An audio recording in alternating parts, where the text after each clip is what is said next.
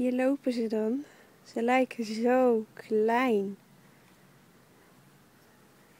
Thomas weet nog niet goed wat hij met al dit gras aan moet. Hij trekt zijn pootjes super hoog op. Kietel denk ik of zo. En dan gaan ze alle twee naar de paardjes. Ik ben heel benieuwd hoe ze dat vinden. Ik hoor Mike daar ergens achter de bosjes rinkelen. Thomas doet ze nu en dan even een standbeeld na. Dan ziet hij weer iets nieuws. moet hij even bekijken. Ah, daar hebben we Mike. Daar zijn ze alle twee weer. Ah, Mike. Hup, de bosjes in. Bosjes, dat is interessant. Wat een dikke staart heb jij. Hij schat. Daar is Thomas nog.